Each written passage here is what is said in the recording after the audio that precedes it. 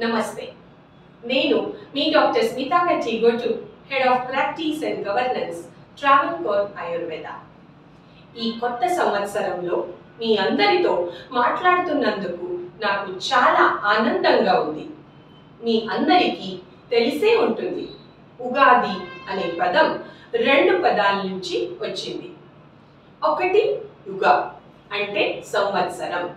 రెండోది ఆది. అంటే ప్రారంభం. కొత్త సంవత్సరానికి ప్రారంభం. ఉగాది. నా తరపు నుంచి మరియు ట్రావెల్ కోర్ ఆయుర్వేద తరపు నుంచి మీ అందరికీ హృదయపూర్వక శ్రీ శుభకృత నామ ఉగాది శుభాకాంక్షలు. సో నేను ఈరోజు అందరికీ ఇష్టమైన ఆరు రుచులు ఆరోగ్యకరమైన ఉగాది పచ్చడి గురించి మాట్లాడుతున్నాను.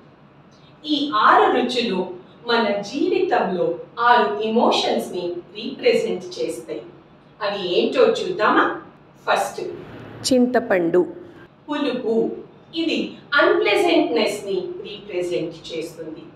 సెకండ్ బెల్లం. తీయదనం. జీవితంలో సంతోషాలని రీప్రజెంట్ చేస్తుంది. థర్డ్ పచ్చి మామిడి. వగరు. సర్ప్రైజ్ని రిప్రజెంట్ చేస్తుంది. ఫోర్త్ వన్ వేప పువ్వు చేదు బాధాని రిప్రజెంట్ చేస్తుంది. ఫిఫ్త్ నల్ల మిరియాలు కారం కోపంని రిప్రజెంట్ చేస్తుంది. Last but not the least ఉప్పు ఫియర్ భయంని రిప్రజెంట్ చేస్తుంది.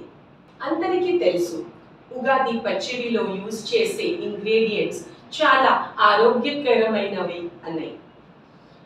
మరి ఒకసారి ఇప్పుడు వాటి యొక్క హెల్త్ బెనిఫిట్స్ తెలుసుకుందాం. మొదటి పదార్థం వేప పువ్వు ఉగాది పచ్చడి కోసం ఇది అవసరమైన పదార్థం.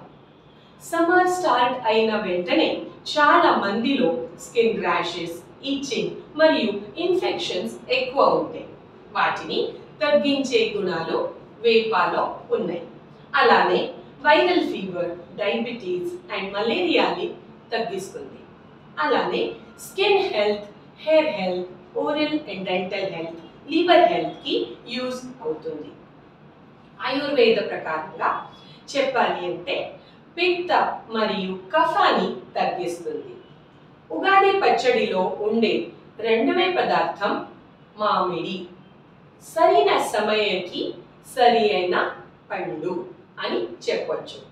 ఎందుకంటే పచ్చి మామిడి ఉగాదితోనే స్టార్ట్ అవుతుంది.